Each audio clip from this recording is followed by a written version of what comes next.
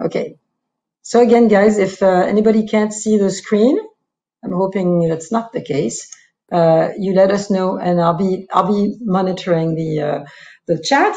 Just to introduce ourselves, I'm Karen Romano. I'm the head of marketing for Outremer, and Outremer is a brand of uh, fast sailing performance catamaran that belongs to the Grand Large Yachting Group. And Grand Large is the uh, the mother company, the parent company of Outremer. Uh, we'll be talking about that just just to give you some some some context as to uh, uh, as to uh, who we are. and I'm here with Pete Goss, who accepted to launch this webinar series for us on blue water sailing. And thank you, Pete, for being here again. I very much appreciate it. Pleasure. All right. Uh, so we have more people coming in. Um, okay, just a few quick words about Grand Large because you may not you may not know we're actually a European um, a European group. It started in 2003, and, and really the story behind these numbers um, is that it started with two friends who were studying together, and they were looking for the right boat to go on to go on a blue water um, world tour, blue water cruise. They didn't find it, and then they decided to build it actually, and that's how Allure was started. Allure is one of the five brands um, that is in the group. You can see them here uh, in the order in which they uh, they um, they uh, they got into the group actually. So it started with one boat with Allure, and then uh, these two friends, Xavier Desmarest and Stéphane, Stéphane Constance, um, decided to expand with one main mission, which was to help people realize their blue water sailing uh, adventure, if you will. And so that's the common thread for all these brands. The common DNA is that whether um, there are monohulls or catamarans, such as Outremer and Gunboat, well, basically, uh, they're all vessels to help people um, uh, go on their blue water cruise, if you will, and, and move on with our project. So that's the common thread. And this is why we're, we're, we're speaking today about blue water cruising, obviously. Um, and the group has like some actually an exciting, uh, an exciting event.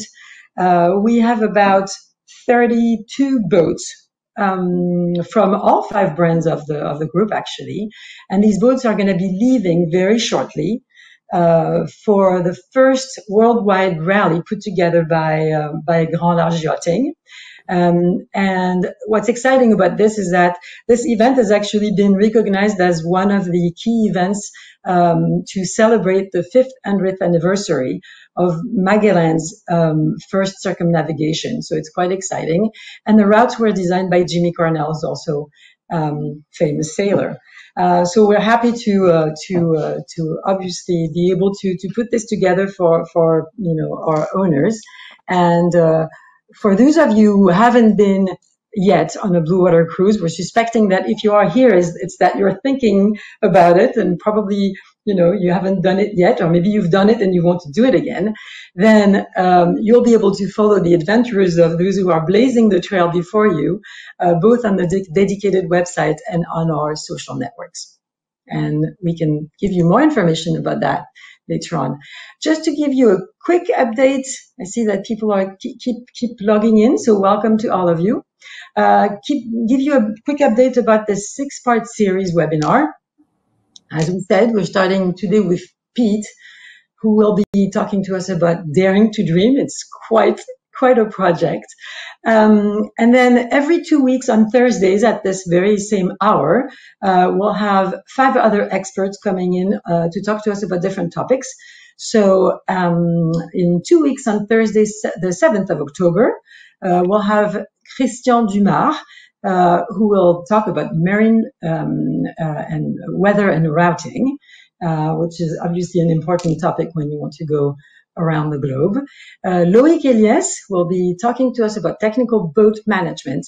So Loic has actually gone around the world once and uh, and uh, he's an airline pilot and uh, it's interesting how he applies uh, what he does as an airline pilot to uh, to managing a boat while blue water cruising. And then we will have Nikki Henderson. Nikki is a young woman sailor, as she calls herself herself, and uh, she chose to talk about uh, a topic that could be uh, could be interesting for those of you who wonder: Can there be more than one skipper on board? We're talking about sharing um, sh- sharing roles and responsibilities while blue water cruising.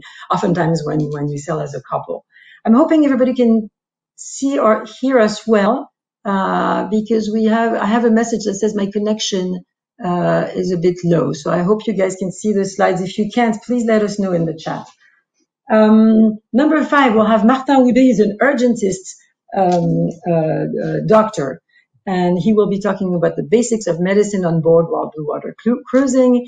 And uh, to close this six-part series of webinars, we'll have Knut Frostad, also a very well-known uh, sailor, talking about how digital tools can uh, give us some more freedom on board. So welcome everybody. You are uh, now 172 connected. Again, let us know if if, uh, if, things are not good on your side. I'm hoping you can see and hear everything correctly because you're connected from all over the world. Um, so let us move on to to Pete's part now um, with the title "Dare to Dream," and he will tell us what why he chose that subject in a moment. So Pete, I'll introduce you quickly. Um, you're a former Royal Marine, uh, and uh, you've had a lot of projects connected to innovation, technology, as a and and, and adventure. You're active in, in a lot of different sectors, um, and obviously you've done competitive sailing and uh, and uh, and and raced in a number of uh, of races, and now you're also a consultant and a speaker. And uh, I would much prefer if you spoke about your experience and told us a little bit more about you uh, with the help of the following slide. And so I'll pass it on to you now. Thank you.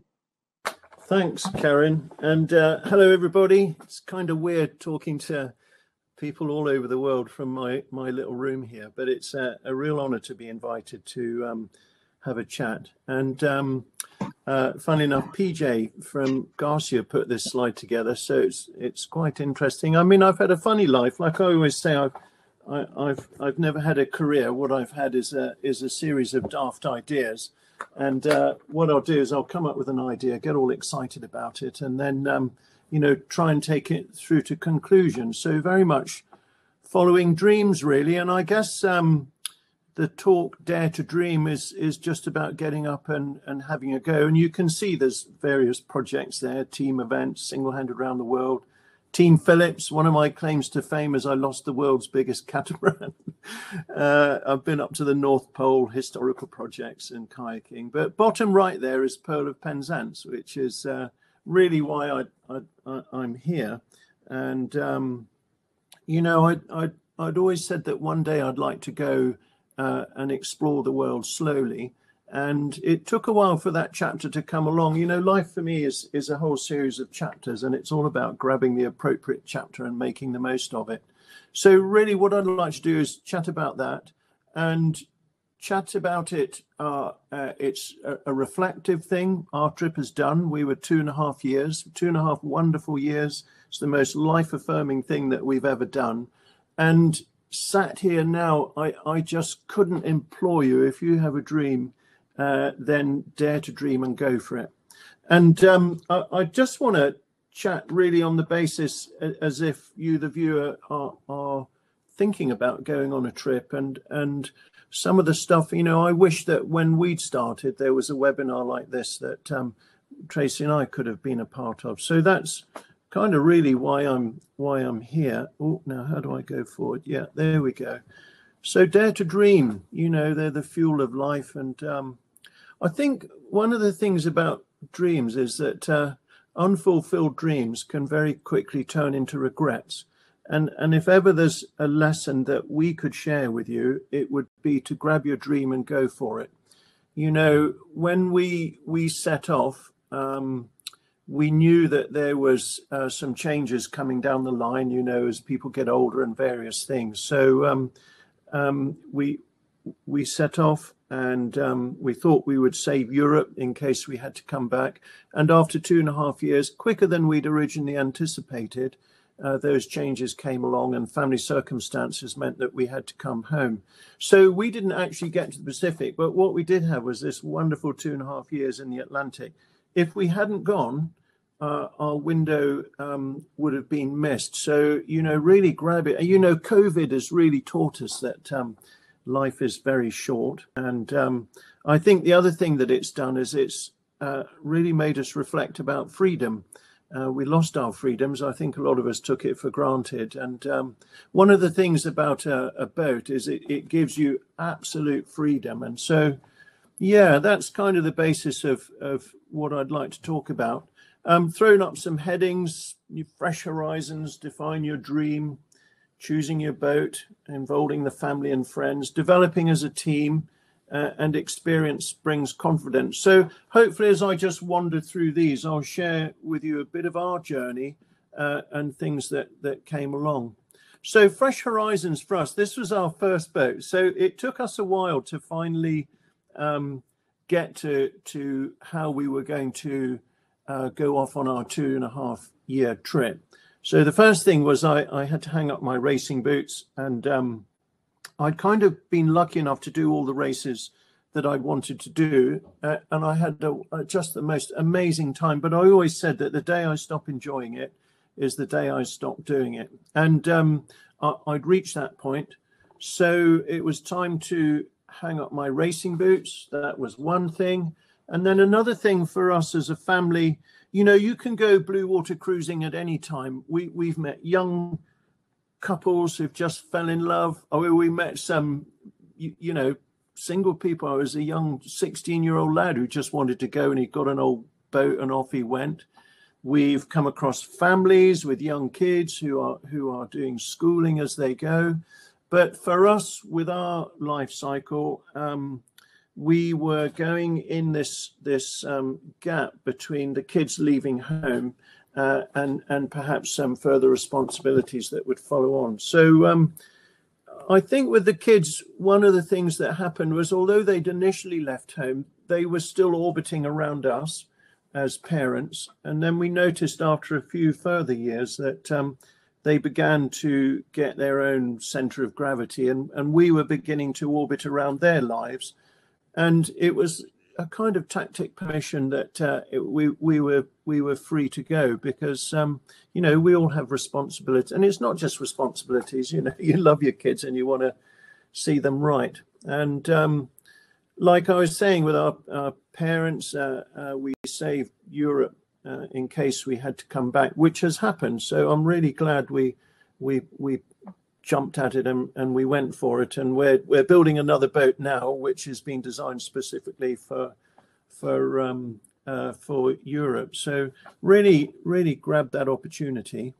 I mean, for us originally, um, Tracy had hardly done any sailing. She didn't particularly like sailing, uh, as she always used to say that nothing goes to windward like a 747. So um, for us, I loved the journey. Tracy loved the destination. I mean, I love the destination as well, but the journey is a, a, really big part of it for me. So our initial cunning plan was that um, we bought this boat here, 34 foot Pippin. I second hand. I did loads of work on it. I was going to do the oceans on my own, uh, and then Tracy would um, fly in and uh, and join me for the stopovers. And that was kind of how we were approaching it did a big refit, learned a lot with the refit. Uh, I think there's you can get a new boat, you can get an old boat.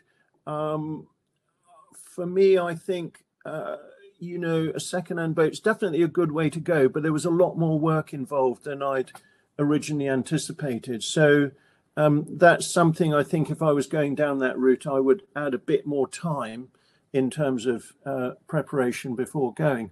The most important thing, though, I think, in in terms of going on these trips, is to really define what your dream is, what you want to do. This is the one thing which is an absolute project built around you. For once in your life, you're not fitting in with a package tour or whatever. And dreams are funny old things. You know, uh, first thing I would say is completely strip away all the romance. You know that that romantic notion, and um, really boil it down to what you want as a couple. And um, you know, one of the things everybody should have, I don't know if you can see it, is an inflatable an inflatable globe. Just go and get an inflatable globe. They're absolutely brilliant. And you can sit there with a glass of red wine and look at your inflatable globe and start to map out in your mind where you would like to go uh, and how you would like to do it. And then, of course, as you do the trip, as you can see with my globe, you can actually draw in um, what you've done. So it's a really nice little thing to to remember your trip by. But it's I know it's silly, but it's a really useful thing. So I'd have one of those. And the other thing, while I'm on the subject, Tracy had a memory book, which is um, this is ours. Look, and each day or each year goes along in one of these rows.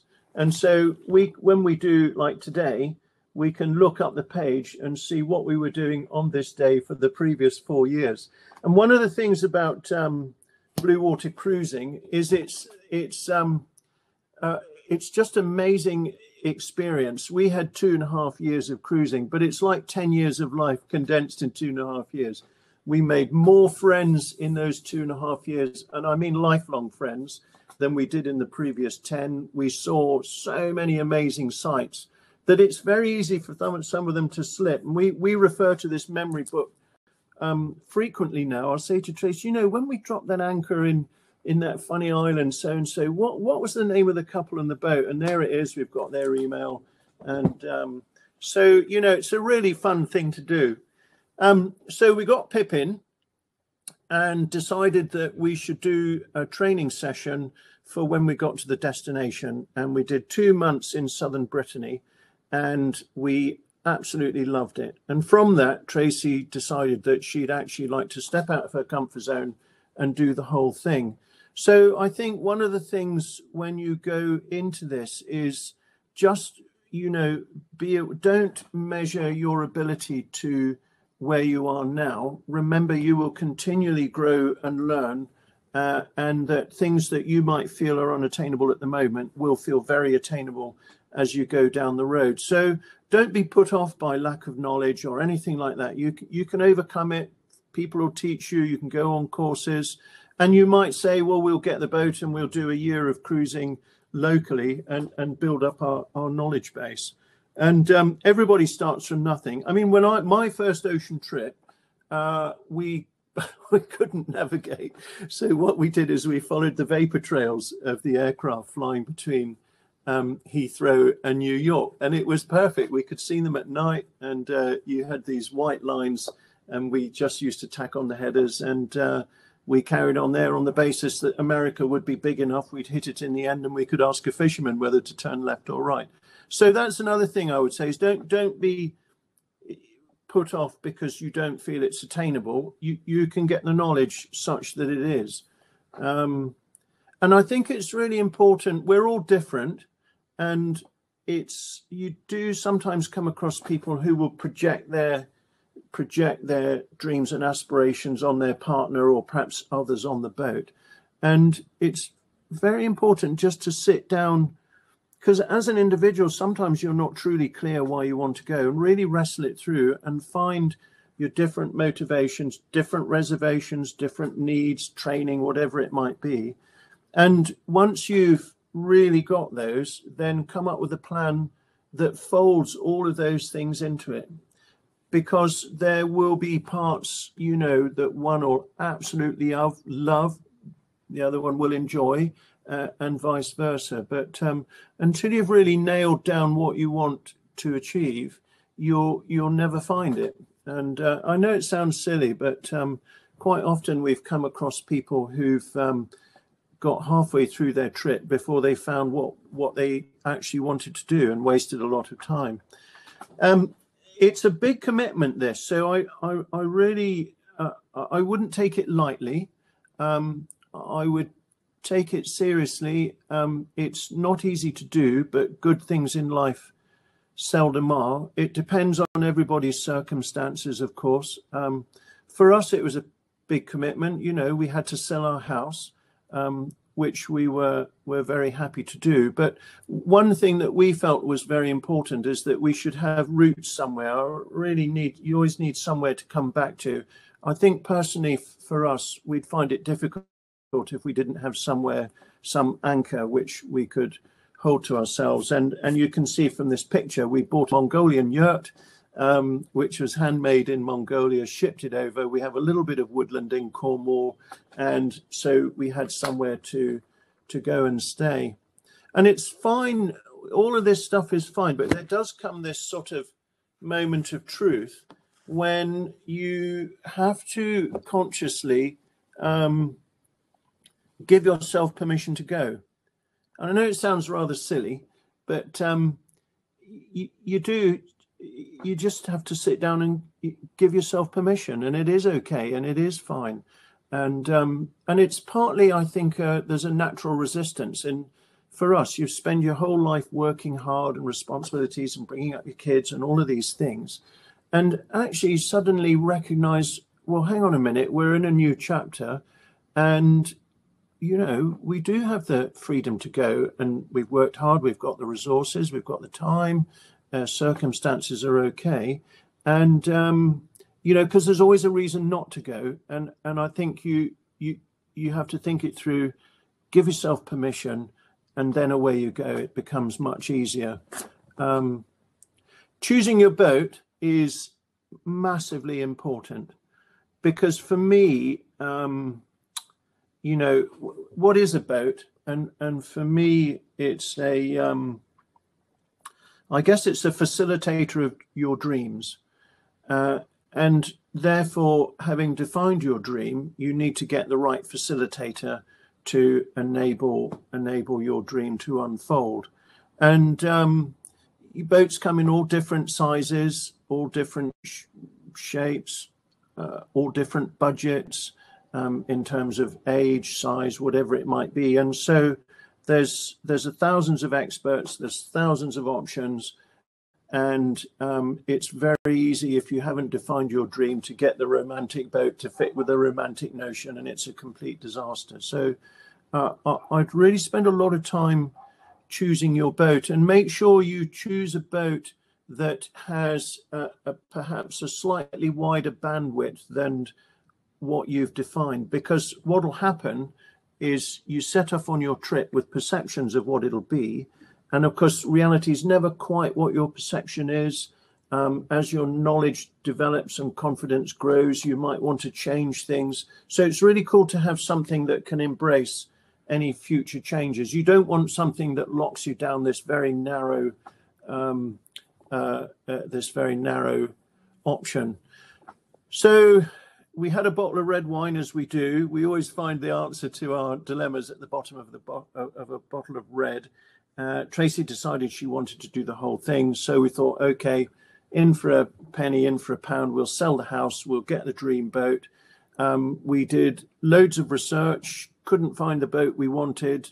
Actually, started to um, come up with a, a, a campaign to build our own boat. I'd done some quite detailed drawings, and um, and then I stumbled across the Garcia 45 exploration, and um, I was flying back from Australia, had a delayed flight in Singapore, I think it was. I treated myself to a yachting world, and there on the front cover was this boat that fitted perfectly what we'd set out. And I remember ringing Tracy, really excited to say, "I've I've found the boat. You know, we don't have to build it." Uh, and so we bought Pearl of Penzance. We called it Pearl because um, it was our 30th wedding anniversary. So it just kind of felt like a, a fitting a fitting name. And one of the things that was very different about this boat compared to my previous boats, which were purely functional to a very narrow um, design brief, and that was basically speed. What this boat had to do was also to be our home and you know why not be comfortable? Why not be um, you know we were going to live on it for a long time so let's have all the comforts that um, go with it. We thought we would invest the extra money on a new boat. I, I, mean i know not everybody can and we were very lucky to you know having rebuilt four houses and built one house we we built up some money which we could cash in and buy the boat. But our experience with the previous one was that um, we we wanted a boat that would serve us rather than us serve the boat because even though we thought it was in good shape every start time we moved forward we would have something else that we, we need to put right and and um, so that for us was another you know you have all of these strategic decisions that you need to make uh, and that for us was one that we certainly didn't regret. Um, one thing i would say there is often you can think of a second-hand boat as a cheaper option but a, a second-hand boat you know whatever you do is always going to go down in value whereas we felt with buying this new Garcia that it would, you know, maintain and and so look at your costing. What I'm saying is from beginning through to end, including the sale of the boat.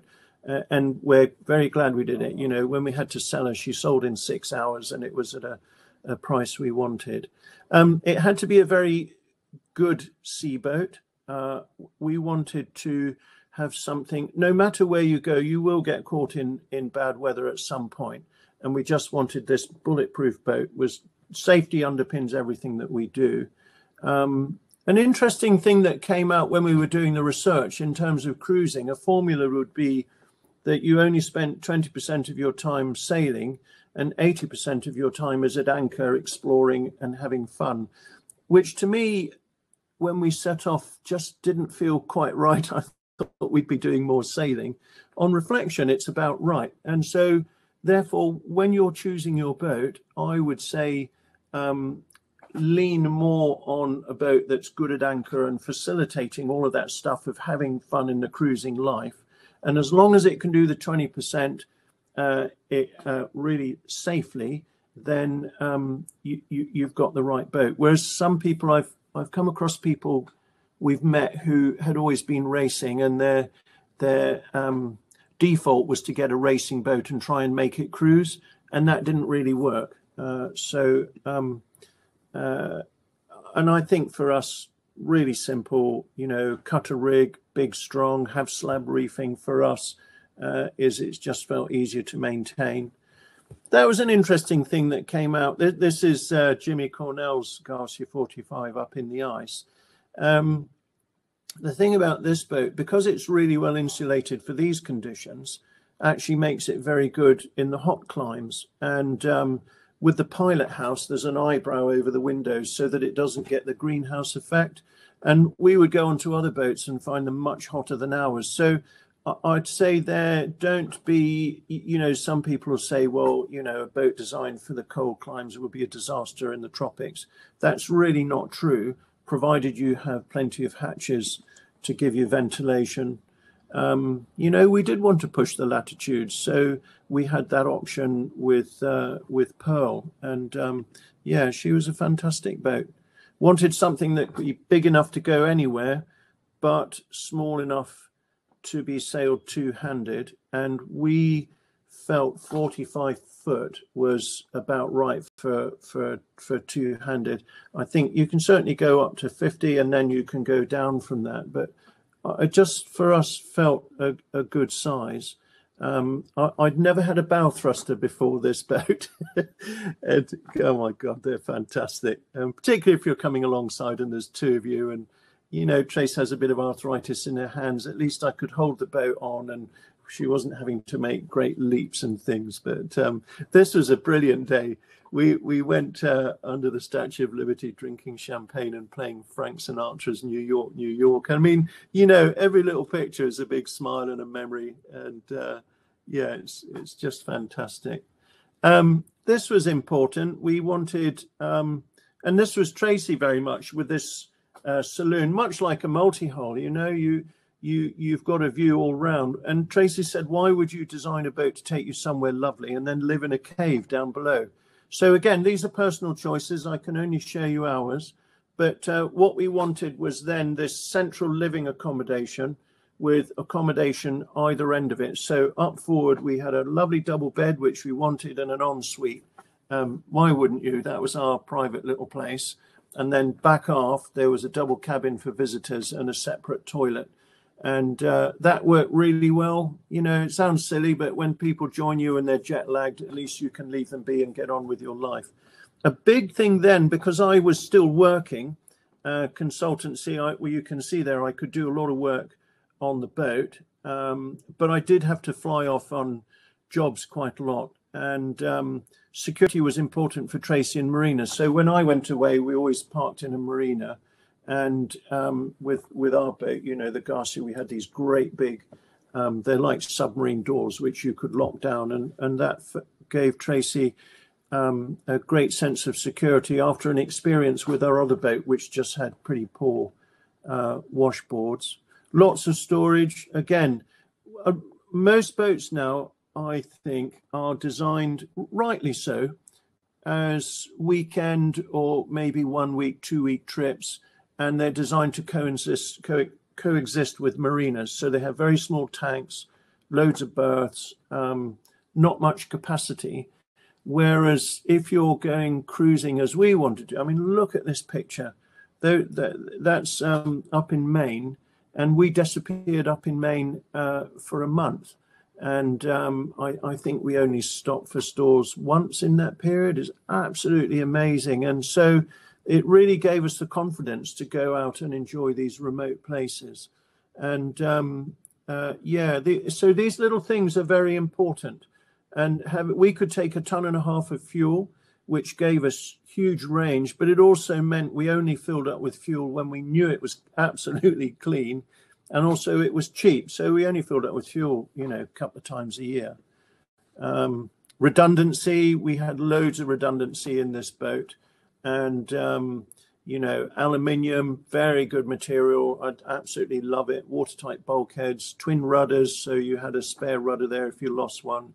And the centerboard was really key for us. It meant that um, the boat was quite shallow if we required it, great out in the ocean sailing, but then we could creep up into shallow areas which other boats didn't have access to. And that really enriched our experience. And um, uh, it, it also makes the boat much more controllable downwind. So these are things that played a part in our decision. The final one um, was it was a boat that had three legs. So Jimmy Cornell all his experience, absolutely fantastic. Why wouldn't we want to it? Um, Garcia make a great boat, and then Grand Large is the overall archery uh, company. So we knew we were putting our because you are giving people your life savings, and uh, we we knew we could really entrust it. And um, I think then we wanted a boat that could change gear. And this picture, you know, we we've got on the left there. That was we're in a um, the where the pen is pointing, there's a, a hurricane hole up in Maine, and we're tucked in there with this. I can't remember which one it was. This huge hurricane that came up through and devastated Nova Scotia. So you know, we wanted a boat that could take us into these areas and be really safe.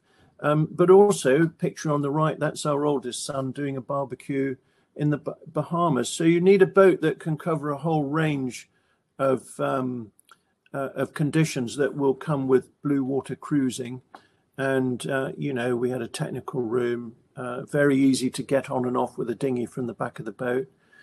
You will, in your choice, go down a philosophical route. Do you have washing machines or all these sort of things? Well, we didn't. We we had a very simple boat. If it's not on there to go wrong, then it won't go wrong, and um, it worked fine. You know, there's laundrettes. We had enough bedding to last for a month, and then we could do one big wash but these are you know things that you do have to think about. And and i guess i'm making that point in is that every decision is if it's if it's okay for you then it's the right decision. And um you, you know so it sometimes comes down to philosophy and you'll have people perhaps trying to force uh, what they think is right on you. Well you, you know just stick with your guns. I think a big thing about this we certainly found was um, managing uh, friends and uh, and particularly family, and um, we really felt that the thing is, not everyone will, and work colleagues, not everyone will be able to relate to your yearning for a free and open horizon, and um, if they don't really relate to it, they find it very hard to understand why on earth are you tearing yourself out and going off and it's mad and high risk and and all the rest of it. And we what we didn't want to happen was people who were struggling like that can sometimes end up begrudging what you're doing, and uh, and so we spent a lot of time um, bringing people along and. Um, you know, we did that through um, giving them books. You know, there's some wonderful cruising books which you could give them as a present. They could read and start to get an idea. We we would forward them YouTube videos just to say, oh, have a look at this. And then they could, oh, yeah, that's really cool. I'd love to do that. And then silly things like a big launch party because you, you have all your friends in various areas of your life, bring them all together, have a big ding dong party, and they can become a part of your trip rather than um, feeling abandoned and, and begrudging it. And then I think once you've gone, um, it's really cool to have a website. They're very, very simple to do and um, what that does is means that that they can come along with you uh, and make it a very honest website the good news the bad news put it all in there and they can live vicariously through your trip little things empathy you know we had a, an old relative who wasn't really um, up to speed with technology so we found a one of the youngsters we used to print they would they would print the daily blog off. It wasn't every day but you know they they printed off put it in the we gave them a load of stamped envelopes and they would put it in the post. And so you know she could open this letter every day and read it and she absolutely loved it whatsapp was fantastic and that's the other thing is is reassure people that you're not dropping off the edge of the world far from it um, you know they can come and join you. Um, trips home originally, we thought we would come home for one month a year. As it transpired, we'd sometimes stay for two months. It's that's the thing. It's a totally flexible thing of this way of life. So don't get too rigid um, as as you move forward. And um, this picture, I love this picture. This is our our daughter, and and that's Tracy on the right.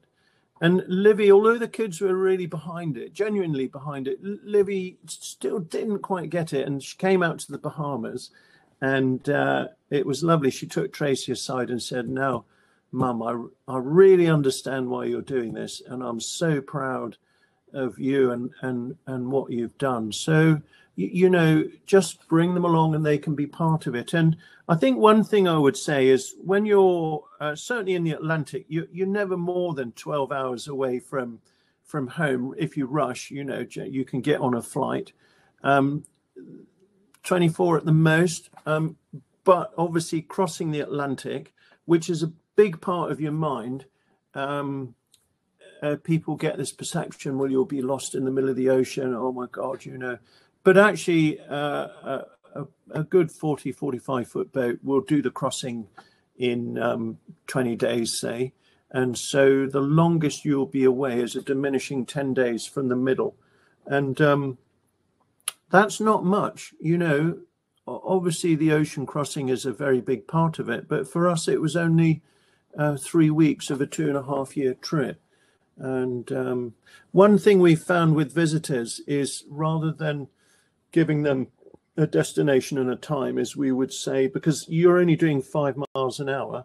Uh, sometimes, and you have weather against you, it's hard to plan. So we would just say, look, if you really want to buy, buy your flight, get it to the hub, and then two weeks before you fly, we'll tell you where to go to, and they can get on a bus or a train or a plane that does, you know, 70 miles an hour or whatever. And that seemed to work really well. Um, PJ, who's done these slides, wanted a, a, a, picture of an emergency. So this is me on the single-handed round the world race. I had to do an operation on myself, but it was the only picture I could find. But one thing I would say is that we found was very useful is we appointed a friend. He's a very good friend who became our central point of contact in case anything went wrong. And what he had was a crisis management plan within which we laid out the details of the boat with a picture, ourselves, age, date of birth, passport details, any medical. We didn't have medical issues, but you know, if you had them, you could put it down. And also a prioritized contact list so that if something happened, I could just call Stu and say, Stu, I'm really busy. Can you disseminate this and I'll come back to you? Or if our EPIRB went off, then the emergency services would contact Stu he could send them all the details that they might require and then coordinate things between us, them, and families and friends. So put a little bit of thought into that. Um, and uh, you, you, know you probably never have to use it, but um, it's useful to have because it helps you get it all straight in your mind and have you got the right medical packs and details and things. And then I think uh, evolve as a team. You know, this is something that's really important. Boats are always ready, but never prepared. You know, you you'll never be fully ready, and um, you can just go, you know, and just go around the corner to the next bay and have a cup of tea and some scrambled egg and a good sleep, and then um, take baby steps. Um, or, like I said, if you're building your knowledge, uh, then perhaps you might do a year of cruising locally before you move on. But the most important thing is to discuss everything, and um, and really discuss them in an open, honest fashion, all your worries and fears and things and one thing that we had that was really useful was was a red card system. So if either of us just felt that you know we shouldn't be going there or doing this, and couldn't really articulate it, it was an intuitive thing. We just had a red card and say, "Oh, I'm I'm sorry, I'm I just I'm going to pull the red card on this." It was never questioned. Fine, the red card was pulled, but we would discuss it afterwards and we did pull the card a couple of times and funnily enough the intuition was was pretty good. Um, differences stay in the cockpit. That's Tracy's thing. Not that we had many, but um, you know, leave it in the cockpit. You're going out there to have some fun. But uh, one thing I, I I would say is that uh, often when people set off, and certainly in our case, there was a huge disparity between myself and Tracy in terms of experience. Obviously, I'd done loads of sailing. Tracy'd only done two night sails. And so one of the key things then was to always talk. If ever I was making a decision, uh, I would uh, run Tracy through it, explain it, get the weather up so that she knew all the options. And this is why I felt we should do that. What do you think? And what happened over time is that disparity started to level up. And, and I think that's, to me, a skipper's goal is to take the crew and the boat collectively to the point such that should you fall over the side and be lost at sea, there should be no day to day effect to the performance of that vessel. And knowledge dispels fear. So the more you imbue knowledge, then the less fear there will be. And then don't be silly, you know, don't start in bad weather. You don't have to be rigid. We had a very relaxed watch system. We always had regular meals. Tracy hated night sailing, so I would do most of that. She would cover me during the day. I mean, her first night watch was 20 minutes, but you know, later on she was doing full night watches and things. So a bit of empathy, a bit of care, a bit of coaching, and you'll both end up on a par. And that's your strongest point, really. But um, you won't get to that point at the beginning of the trip. Uh, well, you could, but you would lose so much time having fun. So just manage it. Um, play to your strengths. Um, have clear areas of ownership. I, I love this picture, but I mean, the thing is, running the victualling on a boat is a really complicated and difficult subject. And Tracy is absolutely brilliant at it. It covers the medicine, it covers, um, you know, food that's going to have to last you for months on end. Um, uh, it's just Tracy can even tell you the best steel to use uh, for your cutlery to be made of. And um, so what we did was we played to our strengths and gave. She's just not interested in an engine. She can do what needs to be done, but just not interested. Whereas I really quite like them, so I got to know the engine really well. um, and uh, I think there is that's your responsibility. I can comment on it, but not decide on it. And likewise for, for my side. And be kind to yourselves. You know, celebrate in, uh, don't cry over the mistakes, but celebrate in the lessons. And learning is one of life's great joys. Uh, and so, you, you know, really enjoy enjoy building up this knowledge.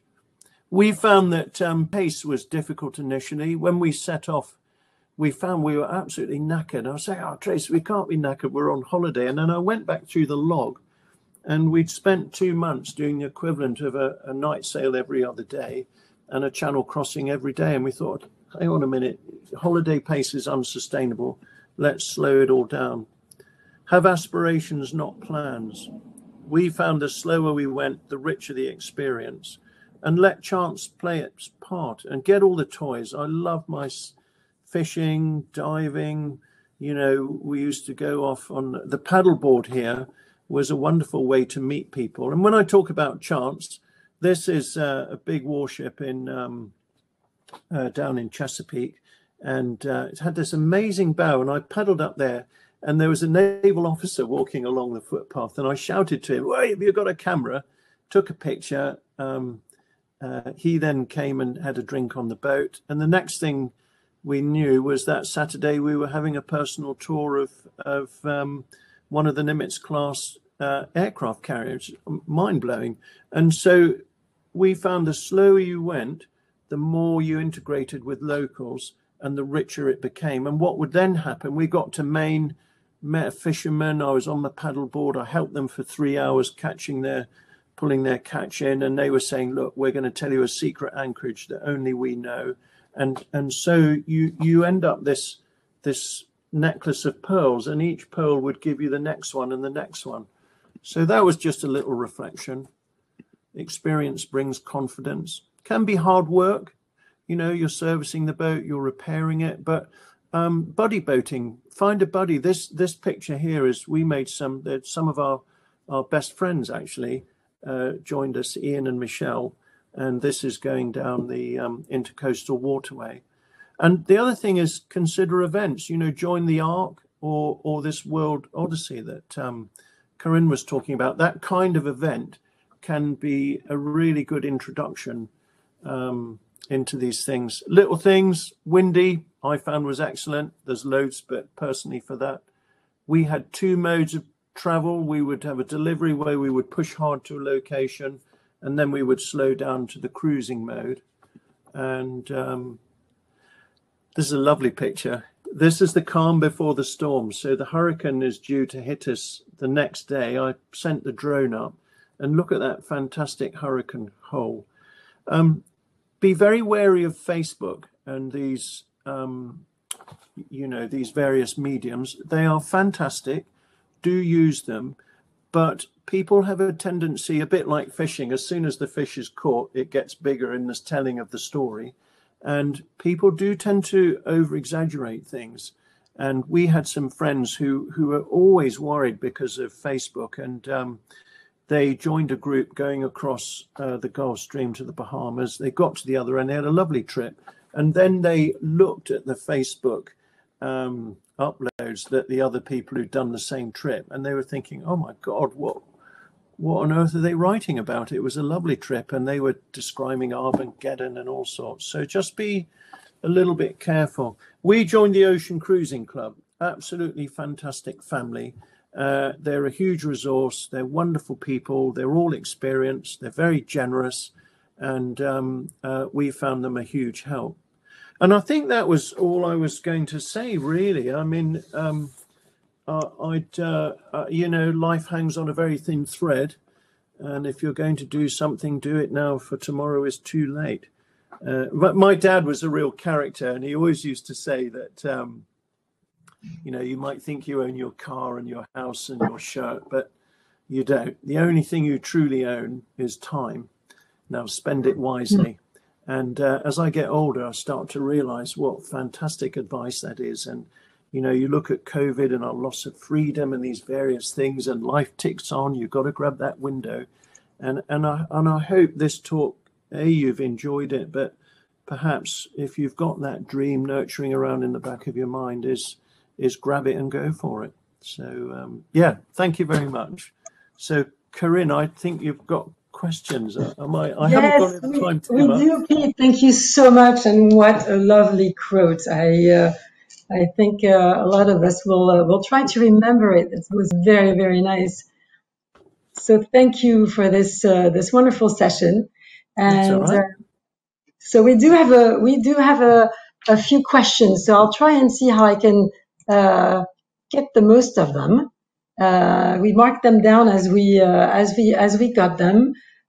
So I don't know if I take them from the bottom or if I take them from the top. We'll see what we do here. Um, so people asked us, I want to reassure everybody that for those of you who came in late, uh, and I'm, I'm really sorry. We had a we had a bit of a mishap on the link, the first link we sent out. So I, I think some of you had uh, some issues connecting, and uh, I just want to reassure you that there will be a, a replay available on this very channel, and uh, you should get an automated uh, um, reminder. So I'll start with the first question. Pierre asked us uh, when you mentioned about talking, uh, selling your house. Um, yep. The question was: Was it because you wanted to buy another one when returning, or or or did you think you would actually not return? No, no, no. We we no, we were always going to come back, and um, I, I, mean, we have met people who it's a total way of life, and they've been at sea for 20, 30 years, um, which is wonderful. But for us, we we we love variety in our life, and obviously cruising gave us the variety. But we knew we would be coming home, and like I alluded to, we had some family um, uh, things that were going to draw us home. So for, we just needed the the resource. I mean, it would be wonderful to be a multimillionaire, um, but we're not. And um, you know, we'd rebuilt four. So it was more a necessity. One, so it was a necessity, but we didn't need the house when we were away anyway. But what we did need was to have roots to come back to, and that was where we had that lovely Mongolian yurt, which was really good fun. It's such a good time uh, Makes for a great picture story too. and and I'm building the next house now. We've designed a completely off-grid house, and I was driving a digger yesterday. So um, uh, yeah, yeah, that's the next project at the moment. sounds sounds quite interesting. Uh, next question, which uh, which is of interest to us here at Outremer, did you ever consider a catamaran? And if you did, why didn't you choose that as an option? And we have another question also. We had an- another question along the same same same line actually. Yeah, yeah. Yeah well, yeah. The, yeah, absolutely. Yes, we did consider a catamaran. I mean, I love um, catamarans. I've had loads of multi hulls. I've had loads of monohulls, but um, I, that's where I was saying you need to really go back to your defining your dream, and then having defined your dream, you'll you'll you'll be empowered to get the right boat. Um, for us personally, we we were quite keen to go to perhaps more extreme areas. It transpired we didn't get there, but we had the option to do that, and I felt um, that uh, a monohull would probably be the safest. So most multi-hulls will inhabit that area in the in the middle of the um, of, of the world, if you like. If you hold up your globe, the trade wind area, um, there is a Garcia Explocat which stretches that. But um, I mean, look, the Outremer are just fantastic boats. I was in the Cannes boat shows where we met, wasn't it? And yes. uh, drooling over those things. And Luik, who's going to do the talk on maintenance, the airline pilot, absolutely lovely man. And I met his wife, and they've been round the world once. They're going again, and they did the first one on Outremer. They've got another Outremer to go the second time. So it's I guess it's a personal choice, but also down to what you want to to achieve. So um, yeah, Indeed. I mean, like I said, it's a very individual thing. What's right for you is the project is, yes. is, the right way to go. But yes. um, I, so we have a, an, another question. Yeah, thank thank you, Pete. Another question about um, actually choosing along the same lines of choosing the right boat, pros and cons for keel versus centerboard, especially in stormy yep. conditions. I think our video is off, you guys, but it's just a question of, uh, I think, uh, uh, connection. The signal seems to be a bit low at the minute. Um, um, hoping we'll come back on on on the video. Okay. But well, um, if I, I not, not want, I've never won for self promotion, but if you go onto Google and just put Pete Goss Garcia 45, I did, the Garcia asked me to do a video at the Annapolis Boat Show. And in that, I, I actually explain that in more detail. So if you want more information, have a look at that. But um, the, a, a centerboard is, to me, is the way to go. Um, it, it was in theory and it turned out to be in practice. So, but there's a lot of confusion between a centerboard and a lifting keel.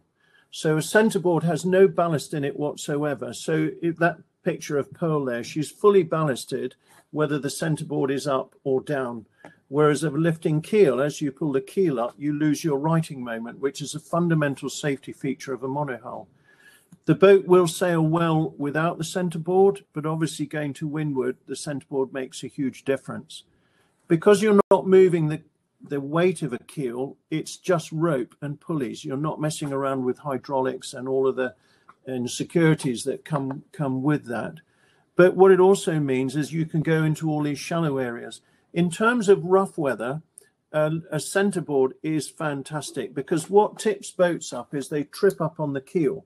Um, you pull your centerboard up, and the boat then doesn't trip up. So uh, what happens is the center of lateral resistance moved aft. If you want to get a bit more technical, but you know, we found Tracy and I were having breakfast in the cockpit one morning, and 30 knots, and we were surfing down a wave at 18 knots, and I only realized it because I looked at the log and the boat becomes quite docile. So uh, it's absolutely um, crucial point that a lot of people don't understand.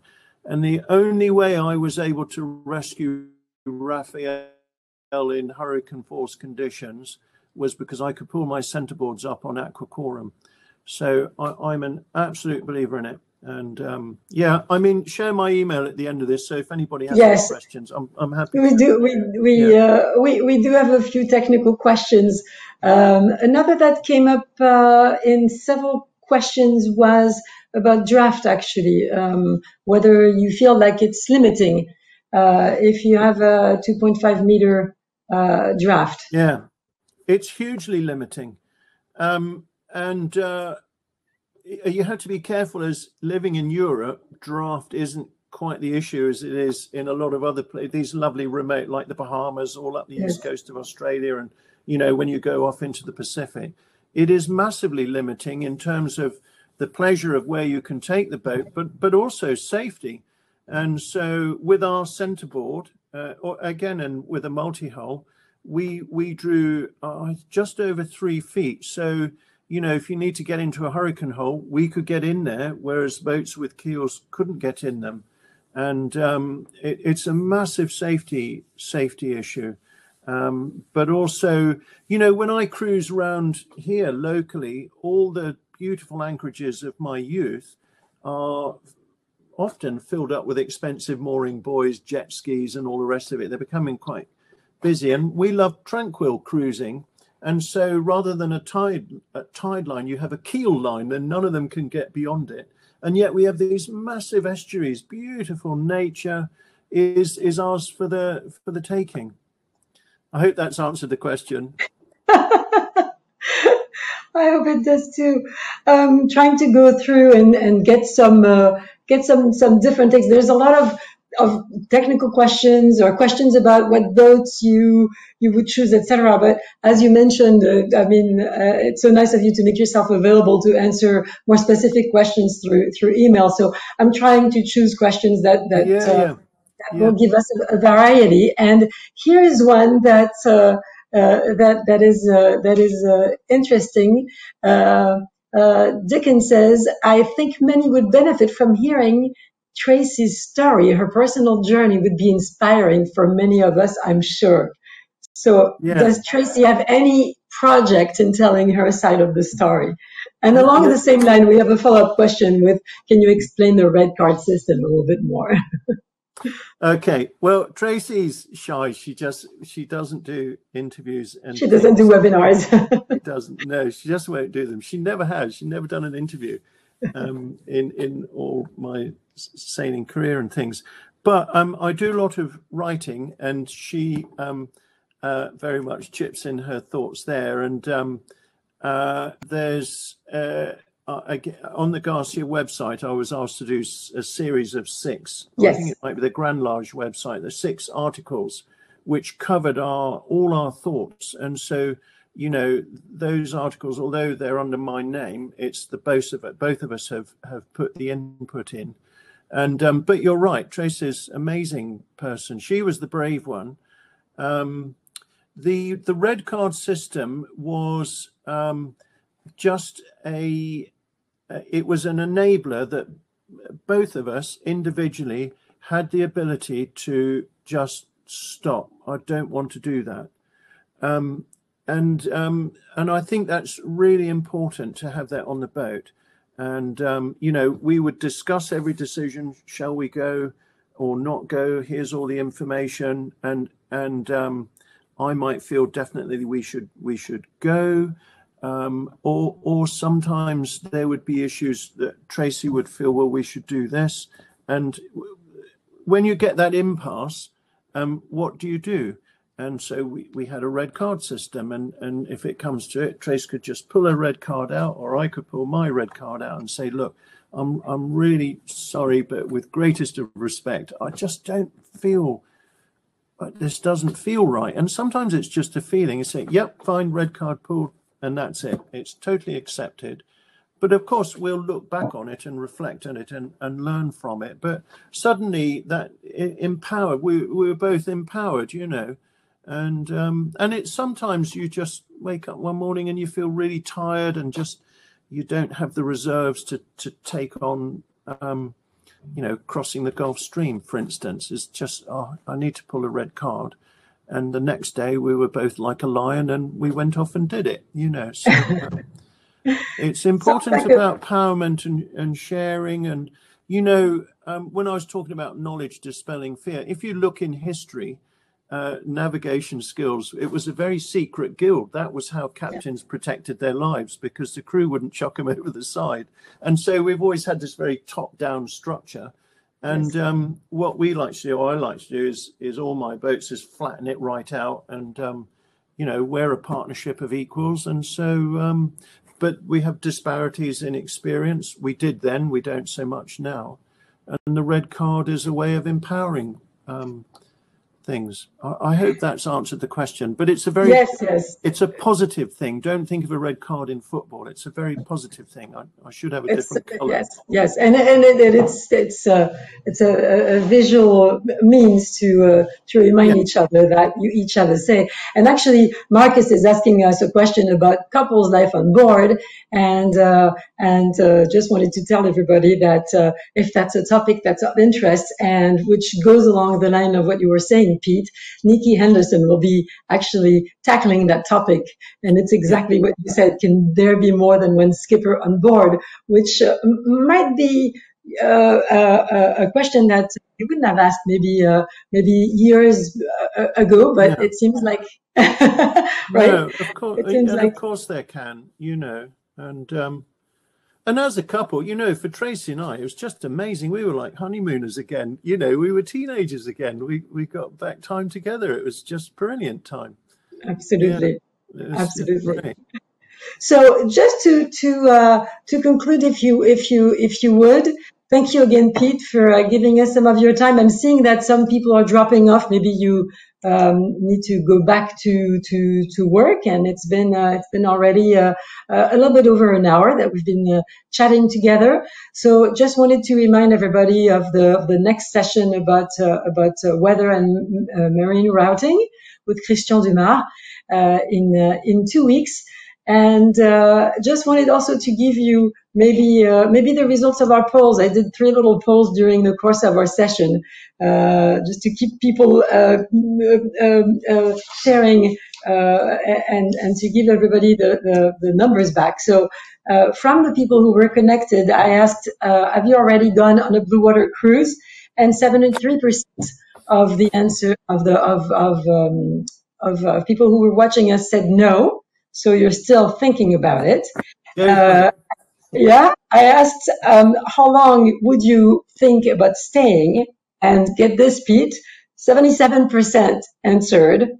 The, the question the question was between one, two, and three years, or as long as I can, and 70, 67% answered as long as I can. Great. So that's interesting. And uh, and then um, how close are you to from from setting sail? Uh, and most of our of our of, uh, of the audience here uh, say they're either close enough. Some it's like uh, within the next two years for 30 percent. And then 40% it's like three years out, and some say 15% say I'm still only dreaming uh, so far, but who knows? So we definitely hope that uh, this webinar will get you from the dreaming about it to who knows, maybe I can do this myself. And uh, thank you again. We had a lot of comments saying how inspiring you were during this webinar, as always. And so thank you again. And for everybody who came in late, you can watch the replay uh, very shortly. It'll be up in a few hours. So thank you again, everyone, and hope to see you in two weeks for our next webinar. Thanks. Fair winds, everyone. Fair winds. Fair Thanks, winds. Bye bye. Thanks, Pete.